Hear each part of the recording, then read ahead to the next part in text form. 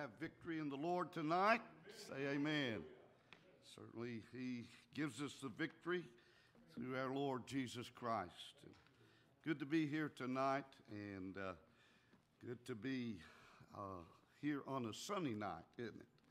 Thank the Lord for the rain, but uh, glad that it's over and that we've got a little bit of dry period tonight. So we're thankful for that and for His safety. Certainly, He has kept us safe. Uh, if we're here tonight, then uh, I'm sure you were safe through all of this, and uh, God is just good to us and watches over us. And uh, we certainly need to pray for those that are uh, hurting tonight because of the waters and the floods that have come in different uh, counties throughout this part of, of the state, and I think other states as well. So let's let's remember them. And uh, we'll go to prayer here.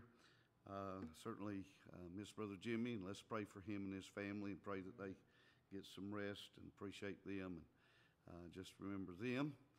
Uh, also, uh, the fellow that's having the toe taken off, was that today that he was going to have that surgery? Okay, so let's, let's remember him. Maybe you have a request tonight before we pray. Tara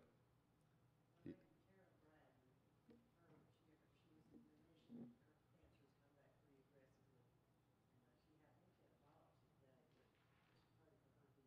was in remission, her cancer's come back pretty aggressively. And uh, she had, I think she had a biopsy today, but just pray for her healing. Remember this.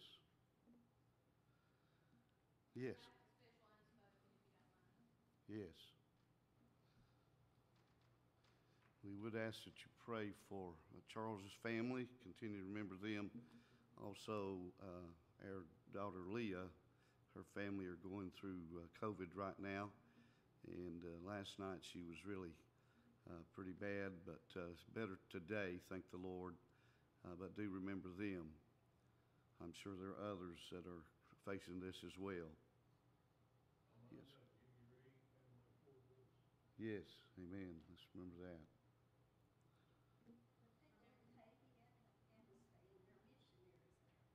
Yes, amen. Haiti, and I think they're gonna, they're gonna face the storm as well as the earthquake. So let's, let's do remember those hurting people. Lord, I want to thank the Lord for saving me. Amen. I want to thank the Lord for keeping me,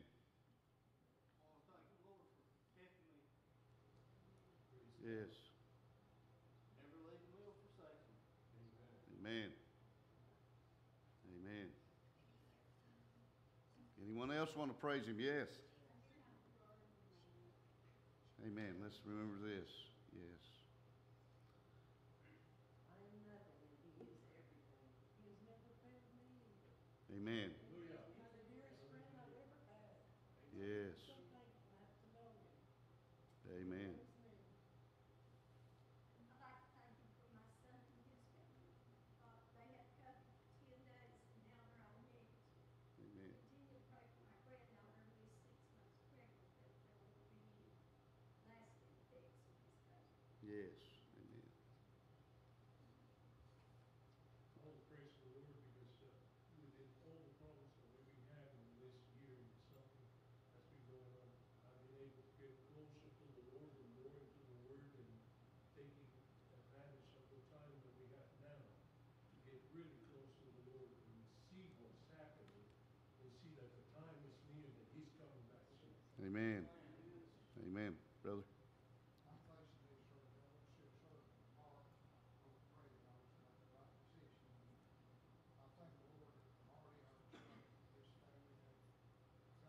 Good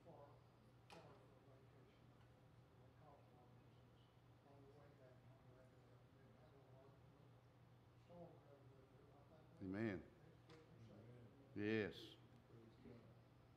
I'd like to say thank you, Lord, for my family. Thank you for the love and the mercy that you gave me every day. I live it, I love it. And thank you for everything. I pray this to my wife. Amen. Thank you, sir. Yes. Pastor, I'd like to thank the Lord for our pastor and I pray that he Yes. and his family will have a vacation. Right. Come back on fire for the Lord. Amen. Anyone else? Uh, pray for Yes. Pamela that sits by me most of the time. She fell here Sunday and her knee is really messed up. Although, she, uh, she did go to the doctor and she hadn't elevated till they called her, see what's going on. Amen. Just gave away with her. Let's remember her and her knee.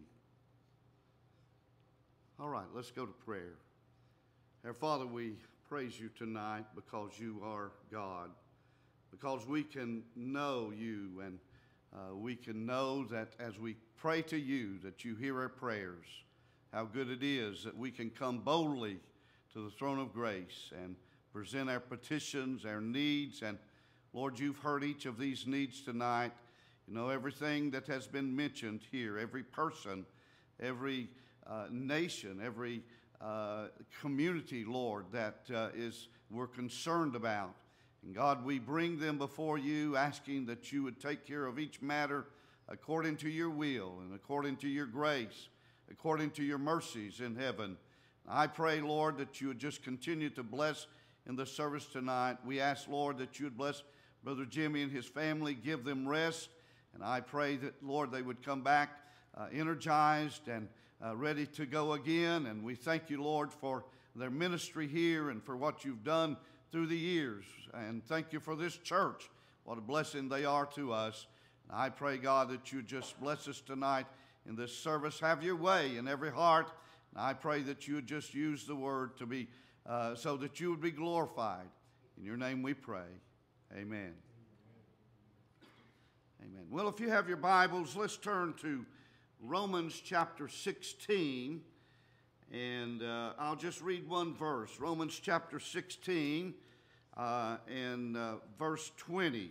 Uh, you can look back at the earlier verses uh, and we'll, we'll talk about those. Uh, but do you remember Romans 16? Um, we were there not too long ago.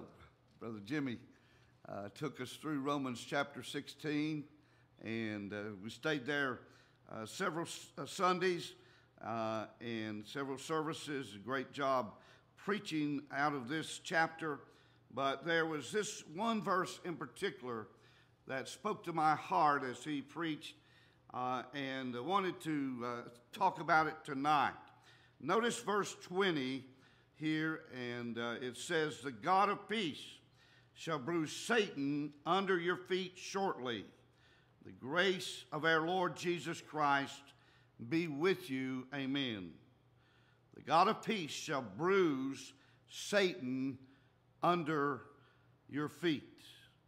In this chapter, as uh, you have heard Brother Jimmy say, uh, Paul is giving a long list of heroes, a long list of people who worked together with him. These are people who had been faithful in the work of the Lord. Uh, these were people like Priscilla and Aquila who laid down their necks for Paul's life. There was also Timothy, Paul's son in the Lord. How proud he was of this young man, Timothy. There were others like Mary, who had been a helper uh, to, to Paul, and uh, Lucas was a fellow Jew. There was also uh, Tertullus, the secretary who wrote the letter for Paul as he was residing at Corinth. He gives a long list of helpers here who helped him fight the battle. And certainly we are fighting a battle today. In verse 17, though, Paul pauses here to give a warning. As he gives praise for those who helped him, he stops to give a warning to these faithful people and to the church at Rome. Notice that he says, There are those people who serve not the Lord, but their own belly. They are out for their own gain rather than exalting Christ, out to exalt themselves rather than exalting Christ. So Paul gives us some very encouraging words in verse 20.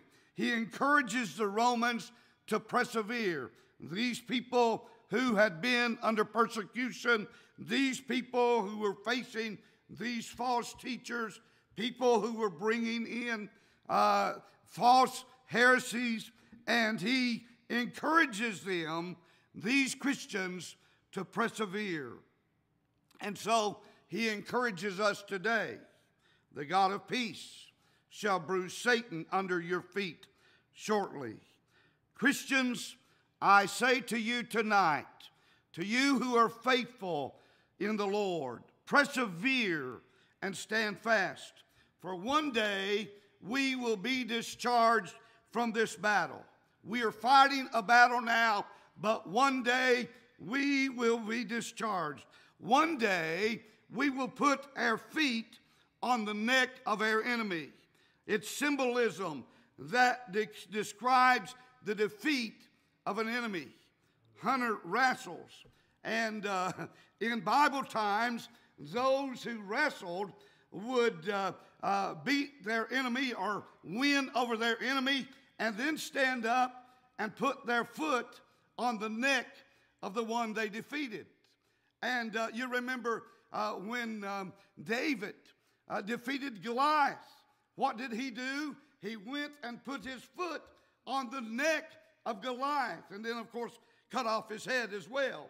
But we see that he is telling us as Christians, one day we will have victory. Now, I want you to notice more closely as you look at verse 20. First of all, Paul says that God is a God of peace. God is a God of peace. Did you realize that every person of the Godhead is for peace? In Romans chapter 15 and verse 33, the Bible says, Now the God of peace be with you all. Amen. Again in Philippians chapter 4 and verse 9, Paul calls God the God of peace. In several other places, Paul uses the same phrase.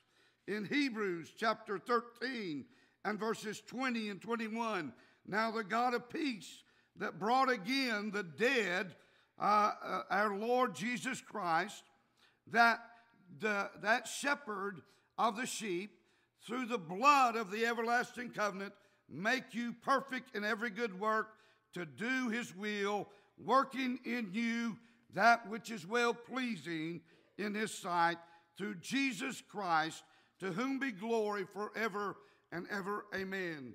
God is a God of peace. He is a God of peace.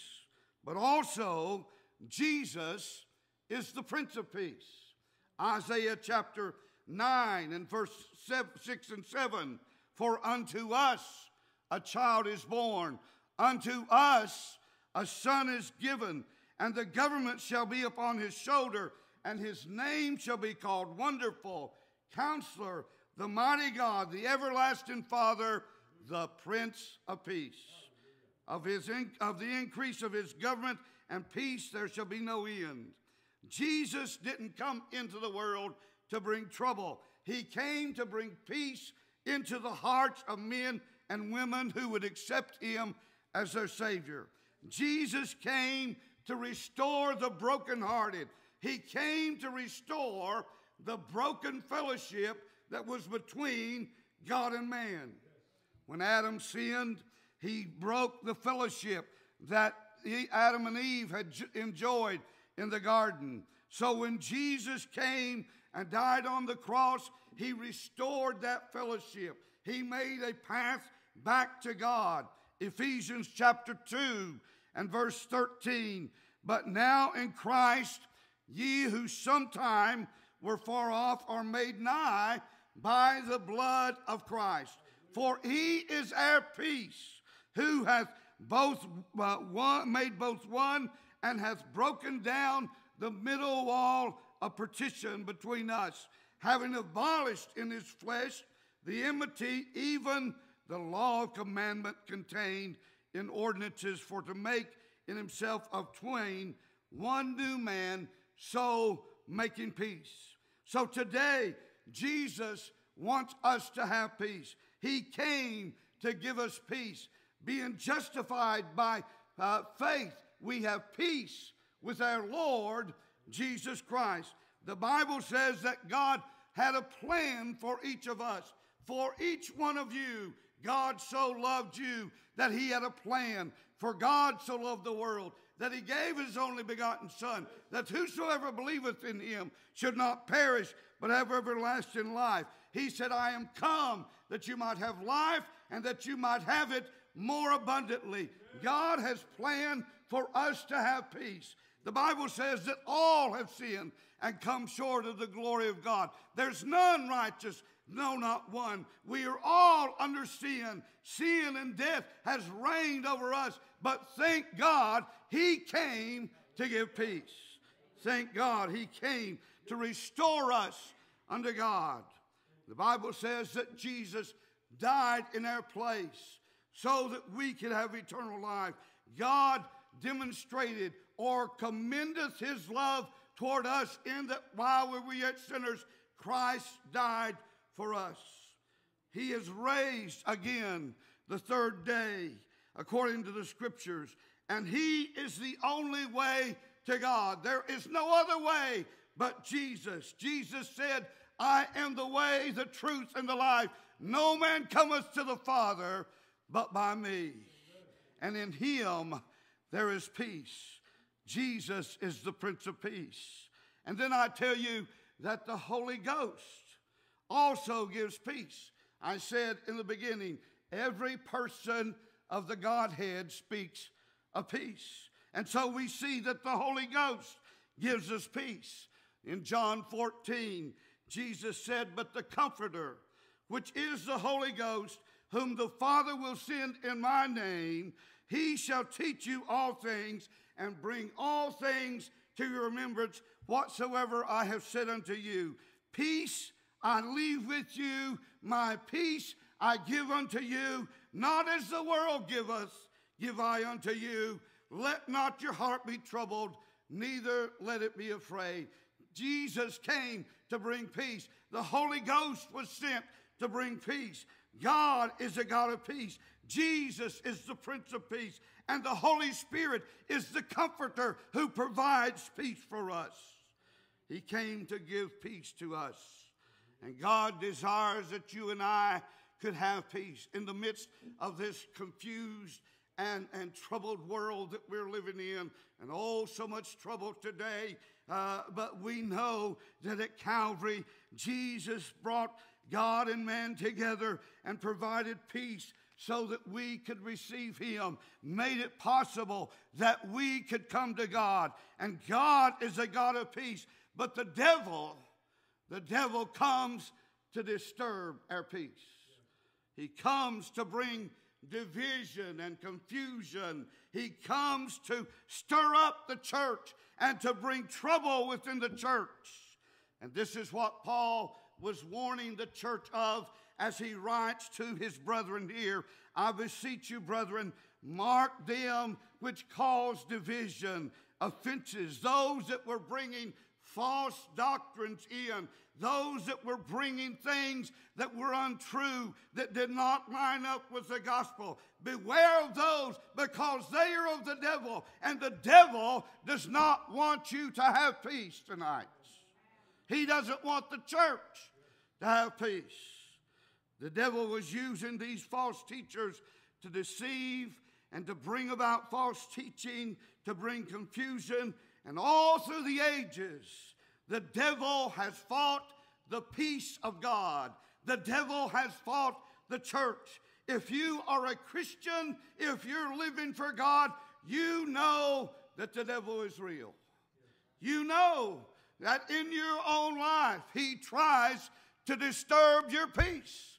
And there are times when he does do that. Peter said, He is as a roaring lion seeking whom he may devour. And you know that the devil uses the world systems to fight against us. The world system is against the church. The world system is not for us as Christians. But thank God there is a God of peace. Thank God there is a Prince of Peace. There is a Holy Spirit that comes and abides within us and gives us peace, even when the world is in an uproar. At Calvary, Jesus fulfilled the scriptures, defeated Satan, and he was defeated, but he was not put away. At Calvary, you see, Satan bruised the heel of Christ, but one day Christ will bruise the head of Satan. One day he's going to put his foot upon Satan and say, You are defeated. One day he is going to cast a final blow. And this is the time that Paul is talking about when he speaks in verse 20 the God of peace shall bruise Satan's head shortly. You see, Paul was writing to encourage us. One day, Satan will no longer distru- uh, disturb our peace. One day, he will be put, it, put away totally. And we are victors. We sang the song, Victory in Jesus. And we can say tonight that we are victors through our Lord Jesus Christ. We can say victory in Jesus. I can see victory ahead. I can know that one day it's going to be final. So I want you to look with me tonight and see that we are winners. What Paul was talking about, we see the fulfillment as we turn to the back of the book. Aren't you glad you've read the back of the book and you know that you're a winner? Aren't you glad that you know that we are overcomers through the Lord Jesus Christ? We're more than conquerors through Jesus Christ. In Revelation chapter 19, we see the judgment of the great whore. If you turn there to Revelation chapter 19, and we'll go through it real quickly. Uh, not time to uh, mention every point, but I want you to notice that he begins by telling us there that there will be the judgment of the great whore. After these things, I heard a great voice of much people in heaven saying, Alleluia, salvation and glory and honor and power unto the Lord our God. And so we see that judgment. But then we see the marriage of the Lamb and the return of Christ in judgment. Aren't you glad that we who uh, are called out, we who die in the Lord, will one day be at the marriage supper of the Lamb? Praise God that He will bring the church together and Christ, the groom, and, and the church, the bride, will come together and there'll be that great marriage supper of the Lamb. And Christ will return in judgment. Now, I want you to especially go with me here and follow along.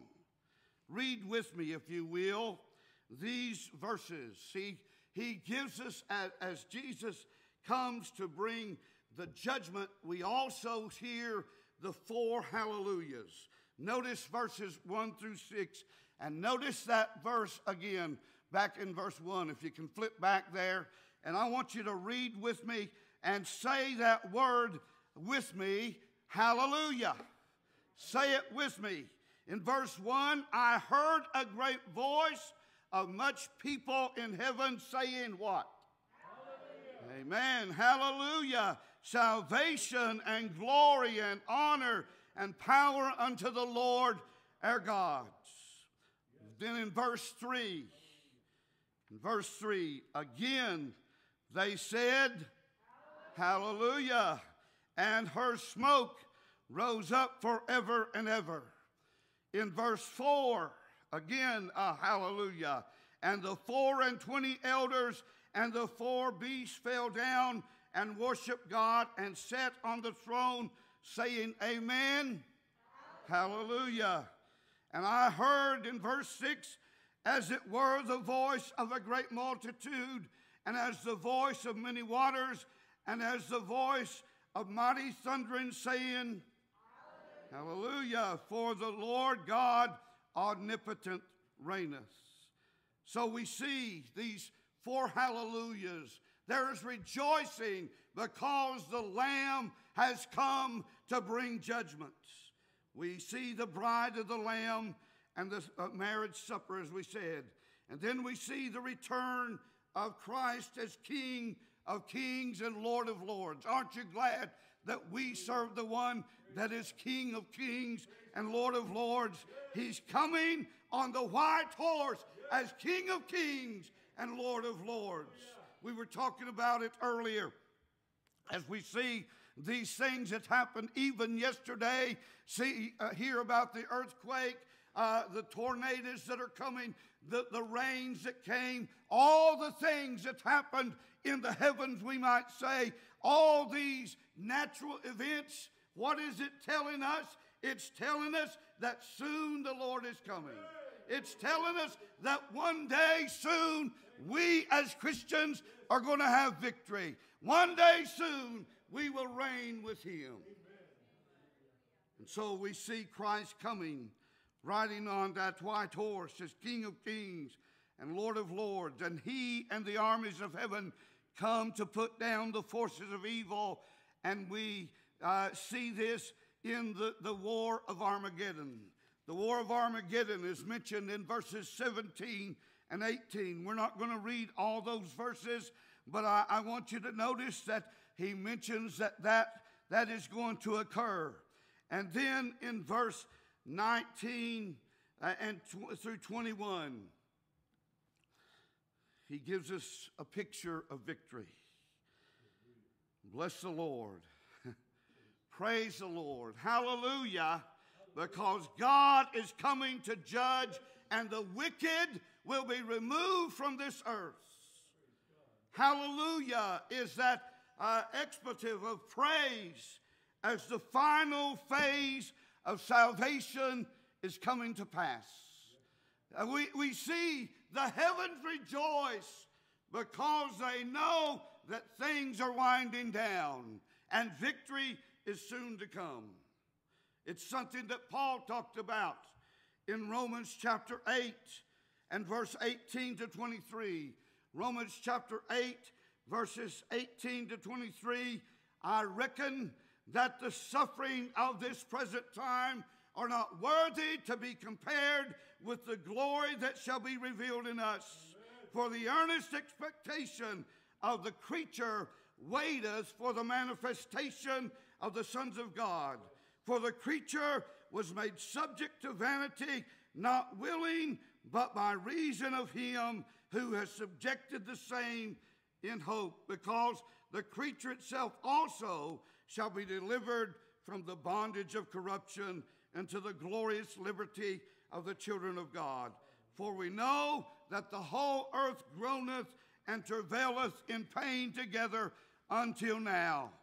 And not only they, but we ourselves also, which have the first fruits of the Spirit, even we ourselves groan within ourselves, waiting for the adoption to wit, the redemption of our body.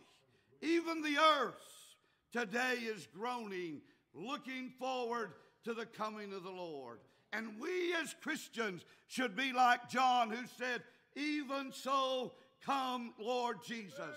We ought to be looking and longing for his coming. We ought to be praying that soon Jesus would come. And one day, soon, that great day is coming.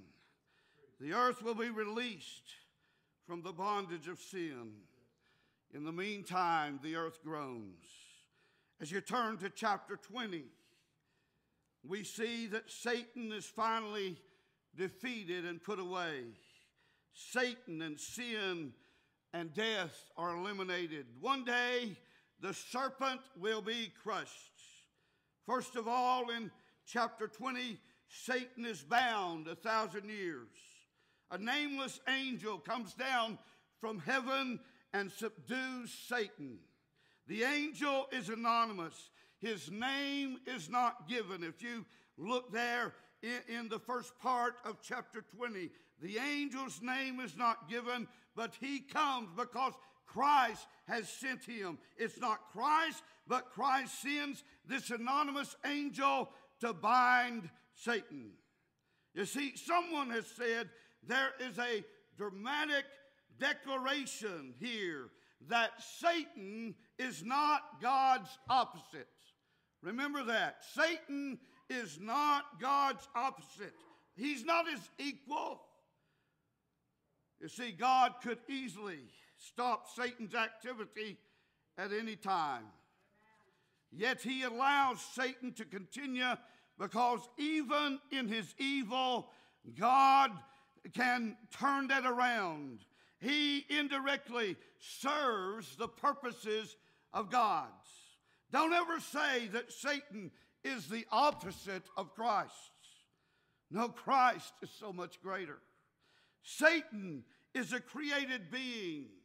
Satan uh, was created by God, and Christ was there from the beginning. Christ is from everlasting to everlasting. Satan only has the power that God gives him or allows him to have. Christ has all power in heaven and in earth.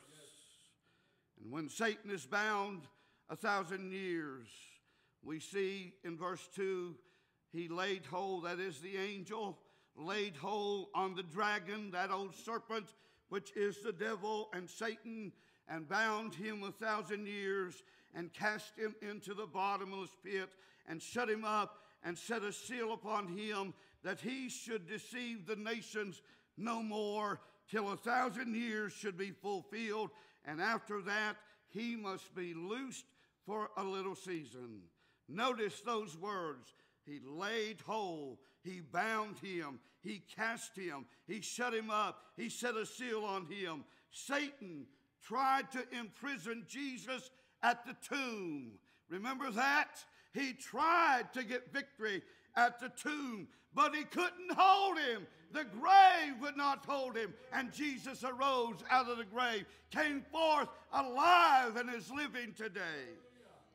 And here in the end, God has no problem restraining Satan. And this uh, incarceration is not just punishment, but it is restraint. Restraint. By implication, Satan's uh, demonic forces, the armies of Satan, are also restrained and imprisoned. And John says, that he should deceive the nations no more. You see, it shows us that Satan's main mode of attack is revealed here. here. Satan is a deceiver. The Bible says he is a liar and the father of it. Satan is a deceiver, and the most potent defense against Satan, the greatest weapon against Satan, is the truth of God's word. The Bible tells us as preachers to preach the word. You, as teachers, are to teach the word. Give the word to those that are lost. It is the word that will overcome. They overcame through the word of his of the Lamb. And since Satan's work of deception continues today, we know that he is not bound at this moment.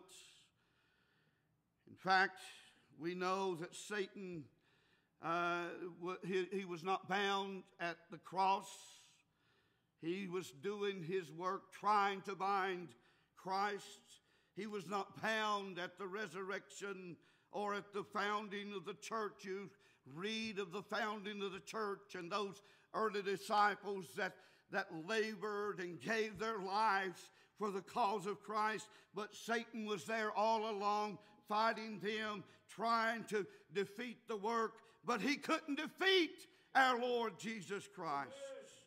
We know that Peter said that Satan is free to walk around as a roaring lion seeking whom he may devour.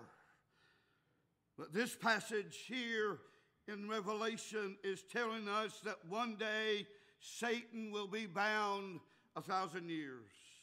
The thousand years is the millennial reign of Jesus Christ. And then the Bible says that he is loosed for a little season. At the battle of Gog and Magog, Satan's forces will finally and completely be defeated. And then notice verse 10 of Revelation chapter 20. Verse 10 of Revelation chapter 20. and the devil that deceived them was cast into the lake of fire and brimstone, where the beast and the false prophet are, and shall be tormented day and night forever and forever. One day, we will have perfect peace. No more devil to defeat us. No more devil to disturb our peace. Christian, I'm telling you this to encourage you. I'm saying this to tell you that one day we will have complete victory. The God of peace shall bruise Satan under your feet shortly. Amen. We will put our feet on Satan's neck. Shortly, Paul said, it won't be long. It's just a little while. It's not going to be long. We see the signs. We see what's happening. We see all the movement within the nations today. And we know it's not going to be long. Shortly. And if you move on to chapter 21, what a great, great promise we have. I saw a new heaven and a new earth, for the first heaven and the first earth were passed away. There was no more sea. And I, John, saw the holy city, New Jerusalem, coming down from God out of heaven, prepared as a bride adorned for her husband.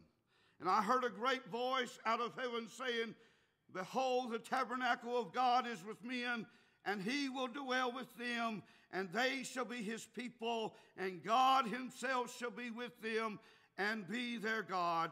And God shall wipe away all tears from their eyes, and there shall be no more death, neither sorrow nor crying, neither shall there be any more pain, for the former things are passed away. And praise God, we will have victory, lasting peace with Jesus forever. Peace, peace, because He is the King of peace. And we will have final victory. Aren't you glad that you know the Lord tonight? Aren't you glad that He is real and we are on the victory side tonight? It's not going to be long, folks. It'll be just a short while and Jesus will return. It'll be just a short while, and all the forces of heaven will come against the forces of evil, and the forces of evil will be put away, and we will have victory. Satan will be defeated forever. Praise God. We're on the victory side. Let's stand together tonight. Amen. He's good, isn't he? How good he is. And I'm glad that we can know him tonight. Amen. Brother Manny, if you will dismiss us, thank you for being here. Thank you for allowing me to come. And I feel unworthy to stand here in, in Brother Jimmy's place. I can't do that. But uh, thank you for the opportunity. And I appreciate this church so much and all that you're doing. Continue the good work. Look up, he's soon coming. Brother Manny. Father, tonight we have received your word, Lord, the word that tells us that we are in victory in Jesus. Yes. That we have nothing to fear, Lord, because the devil, Satan, is under our feet. If we Yes. stand with you, Lord, and we understand your word, Lord, that means that we have nothing to fear, that we should go forward. Yes. Because a soldier of God has all the, the, the uniform and everything he needs to defend himself in the front. Nothing Yes. covering his back because he will not flee backwards, Father. We thank you, Lord, because you have blessed this man that you have brought to us, Roger. Our brother Roger has brought your word, the word of truth. And we take that word and take it home with us tonight. We thank you for this service, and we thank you, Father, for the presence of the Holy Spirit tonight. Yes, thank.